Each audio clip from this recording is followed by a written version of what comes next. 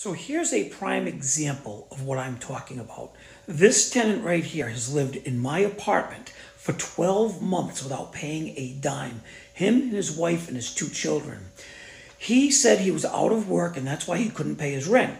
So guess what we did? We offered him a job. He's a cabinet maker. We said, come work for us in my construction company. Even if you want to do maintenance, we offered him a job. He turned it down three times in writing. Yet he still gets to stay there and not pay rent because of the moratorium.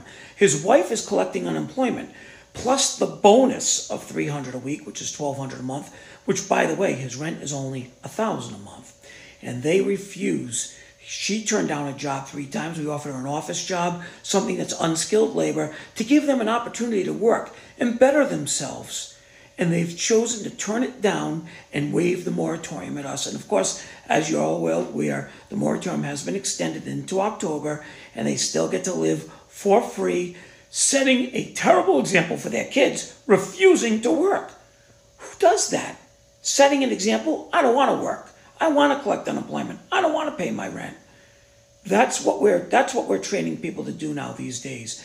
Yet you folks don't understand why I get upset. 12 months, do the math, $12,000 has not had to pay a dime because of the moratorium. He will owe it later. Of course, we can go after all the unpaid rent, but unfortunately, you can't get blood out of a stone. But this is the shame of it all right here.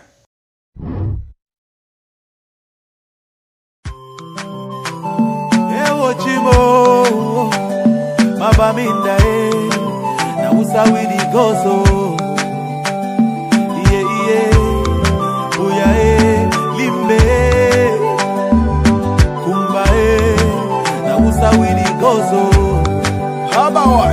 yeah. Something is killing me slowly, and I'm feeling so lonely. But this thing I must to talk oh, yeah yeah. All my people they for bush and I